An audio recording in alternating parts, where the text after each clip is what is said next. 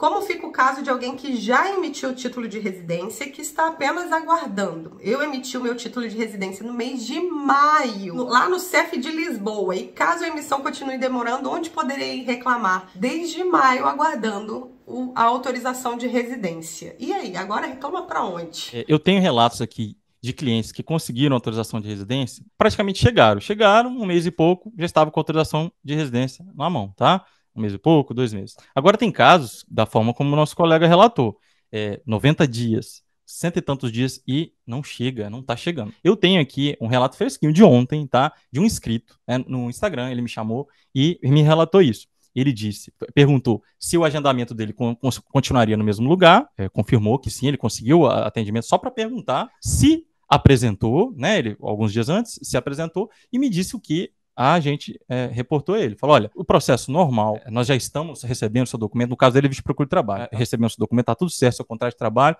só que eu não sei se vai chegar com 90 dias, no mínimo 120 dias. Então, eles também estão se organizando quanto a essa questão do prazo. Agora, no seu caso, eu acredito que o seu documento foi extraviado. Pode ser que tenha sido. E aí, se foi, você deve voltar nessa mesma delegação, vai de manhãzinho, tenta falar com segurança, por favor, deixa eu entrar, deixa eu olhar a situação, né? Seis meses estou aguardando, preciso muito desse documento. Quem sabe não voltou, costuma voltar. Caso não tenha voltado, você teria que ir na central e ver se voltou para lá também. É bom ver com o CTT se também teve alguma questão com o problema da entrega. É bom, vale você ir lá. Teve alguma remessa que foi enviada para o meu endereço nos últimos meses e tal, porque para você investigar, saber o que aconteceu. Não é normal, seis meses. Tá? Não, não é, é normal. Coisa. Outra coisa que também pode ver, que já aconteceu, o oficial do CEF recebeu os documentos dele, visto procura de trabalho também. Recebeu os documentos dele, disse que estava tudo certo, era só esperar 90 dias. Ele falou 60. Aí ele esperou 60, esperou 90. Aí veio desesperado. Falou que na segunda página do protocolo dizia que em 10 dias ele tinha que atualizar o endereço dele,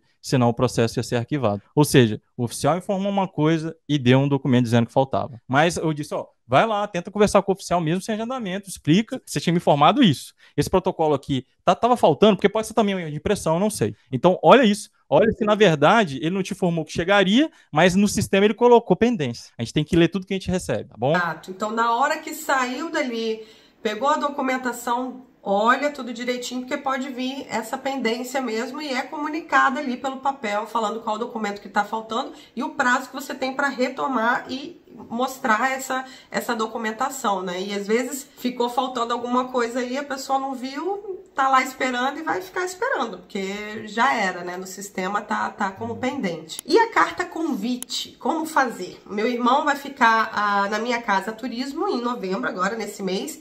Antes tínhamos uma carta convite ali com o modelo do CEF. E aí, continua usando do CEF? Já tem carta nova por aí? Como é essa situação? O termo de responsabilidade, na verdade, não é exclusivo de Portugal. Na verdade, todo espaço Schengen ele tem uma forma né, de, de você mostrar que tem um anfitrião, são, são regras meio que unificadas. Obviamente, a gente tem ali cartas, é, modelos de cartas com as autoridades migratórias do respectivo país dos, dos Estados-membros, né, do, do, do, espaço Schengen, só porque tem uma bandeirinha do CEF ou bandeirinha da AIM, não vai ter diferença, não tem problema. Você pode, na verdade, fazer com as suas palavras, seu anfitrião, na verdade, né, fazer com as palavras dele, direitinho digitado, bonitinho, é, autenticar na, na, com, com o notário, autenticar com um advogado, um solicitador não tem problema, assinatura, e pronto, você já tem ali o documento, tá? Ele, ele vai servir. Agora, o que eu lhe indico é usar o, um documento que hoje tem sido padronizado, que vem do MNS, esse padrão, ele está em francês, inglês e português, e nele serve para qualquer caso. Então, para você evitar ó,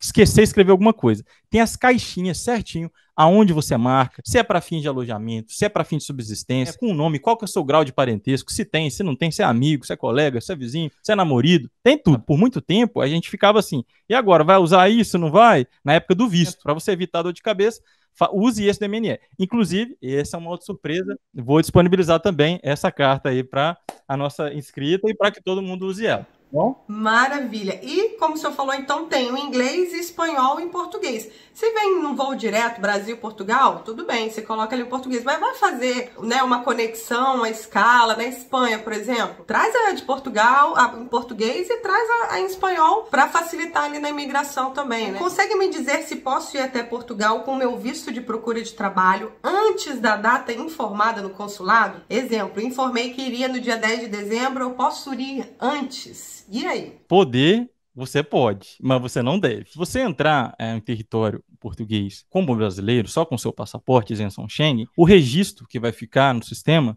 é que você entrou com isenção de visto. Podem te perguntar ou não qual a finalidade. Geralmente o pessoal vem em turismo, mas não necessariamente isenção Schengen é turismo. Na verdade, é trânsito por 90 dias no espaço Schengen, podendo ser prorrogados por mais 90. Então, ele vai colocar essa anotação, mesmo que você tenha visto. Por quê? Porque o seu visto não está dentro da época da validade, mas você pode entrar em Portugal. Se a gente trocasse um pouquinho a figura e você fosse de um país que não pudesse entrar em Portugal sem visto Schengen, é, é, é, o visto Schengen ou qualquer outro tipo de visto, você, nem, você não poderia entrar antes dessa data. Mas como você é brasileiro, você pode. Então você entende que a possibilidade dele colocar o registro como é, isenção chega é grande? Talvez ele não coloque. Talvez ele coloque que você entrou para procurar trabalho, o que for. É, mas não é o ideal. Não é o ideal, porque se, se, ele colocar, ainda assim, você vê que é um jeitinho, você está extrapolando 120 dias, que seria, e a gente não tem como pensar assim, ah, não, mas é um pedacinho da isenção Schengen, né, de turismo, e mais um pedacinho. Não pode, porque você, teoricamente, teria que sair do espaço Schengen e dar uma nova entrada e fazer uma nova entrada. Então o ideal é que não entre. Acabar entre. dando um problema ali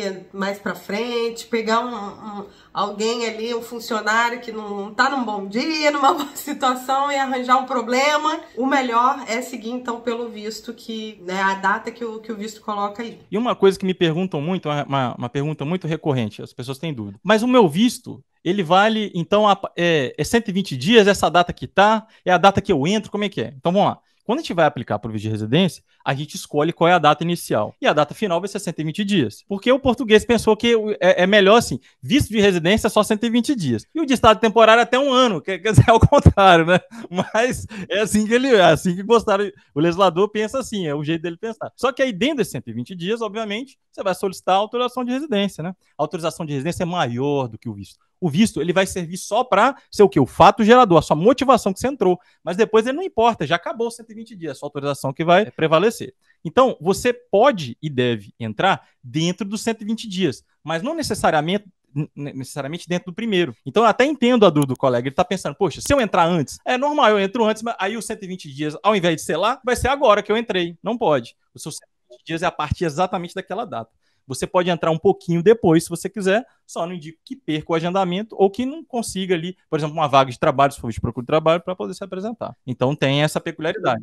Né, dentro de 120 dias, você pode entrar. Mesmo que entre 10, 20, 30 dias depois, você pode entrar, na verdade, faltando 10 dias. Não tem problema, você está dentro da validade do seu visto. É. Lembrando que, é para esse ano especificamente, se a pessoa entrou com visto em janeiro, não tem problema, mesmo que tenha estourado 120 dias do visto de residência dela, está prolongado até o dia 31 de dezembro. Nós temos esperança que talvez a gente vai ter mais um no finalzinho do ano. No último minuto, eles, eles geralmente promulgam para que ano que vem estenda um pouco mais. Também porque a gente tem. sabe que é as vagas, Exatamente. principalmente para regrupamento familiar. Porque não é nem uma questão da pessoa que vem com visto. A pessoa que, é, que veio com visto, ela quer ter logo a autorização de residência dela, mas às vezes ela não consegue, veio sem agendamento, não consegue o agendamento, o agendamento está longo, então ela não consegue, dentro daquele prazo, estar tá com a autorização de residência. E aí temos esse decreto do governo, vamos ver como é que fica aí no ano que vem em relação a isso, né? A autorização CPLP vai continuar normalmente aí com todas essas mudanças? E como é que é essa questão do papel digital? Do cartão é, da autorização de residência, que essa é a dúvida do Fernando. A CPLP continua firme e forte, é, talvez não tão forte, mas firme. É, a CPLP continua, a autorização de residência CPLP continua. A princípio, nós não temos aí